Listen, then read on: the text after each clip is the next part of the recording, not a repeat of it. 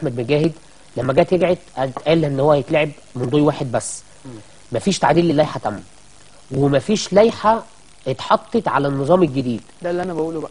فاذا اذا أنت اول اول أول حاجة أول خطأ أنت وقعت فيه كلجنة آه إن أنت لما ي- لما قررت إن أنت تعود للمسابقة تاني بنظام مختلف اللي هو نظام الدور الواحد ما عدلتش. ما حطيتش لائحة تقول أنت هتعمل إيه لو الفرق تساوت في عدد النقاط.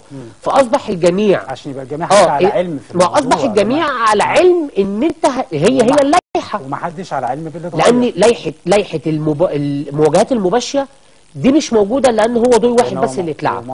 فإزاي مواجهات مباشرة؟ أنت إزاي تنصف الأهلي عليا وأنا لعبت لعبت ماتش واحد بس في ملعبه. هي دي الفكرة. فانت بالتالي انت ما حطيتش لائحة بكده. فتم العمل باللائحة القديمة اللي هي اللجوء. لفي الأهداف. أيوة. فانت بداية الغلط ان انت لما جيت رجعت المسابقة بنظام جديد ما حطيتش لائحة تتوافق معاها. ده بداية الغلط. جيت النهارده التضارب زي ما كان بيتكلم حسين في جزئية إنه خرج النقطه التصريحات من الاستاذ اسمه اسامه إسماعيل. أيوه. إن المواجهات المباشرة هي اللي هتحكم. وهو المسؤول وهو المسؤول الإعلامي عن اتحاد أكيد. نفس الغلطة اللي حصلت في الموقع الرسمي للأهلي هي نفس الغلطة اللي حصلت المنظومة الإعلامية لاتحاد الكوره كل واحدة بتحط حاجة وبترجع تسحبها وتشيلها. ما هو انت قلت كده عشان خاطر وكابتن ما فيش طارق كمان لائحه يعني برضو أتكلم في قصة إن اللائحه بتفصل ما بين طبق. بص أنا أنا بص احمد انت أنت حط لائحه وطبقها على على الكبير قبل قبل الصغير. لكن أنت. مش حاطط لائحه صحيح.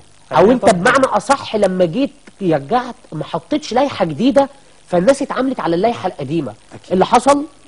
يعني النهاية النهاية النهارده قبل نهاية المباراة اتقال للعيبة الأهلي اكسبوا. مم. والماتش شغال بعد جون إمام عاشور تحديدا. جون يعني التعادل عشان كده بقول لك قال للعيبة الأهلي اكسبوا. اكسبوا مالكوش دعوة. اكسبوا. ده كلام على مسؤوليتك انت. على مسؤوليتي أنا. آه. اكسبوا. طب انت عندك لعيبة دليل الأهلي داخلة؟ الماتش لعيبة الأهلي عندك داخلة دليل الماتش. للكلام ده؟ عندك دليل للكلام ده؟ عندي معلومات. أنا بقول لك أنا عندي معلومة. لعيبه الأهلي واكبر دليل الدليل إحنا إن بص هم أكبر دليل يا أحمد إن الرسمي لل- للنادي الأهلي منزل إنه لازم في فرقتنا تكسب بفرق ثلاث أهداف عشان تاخد البطولة.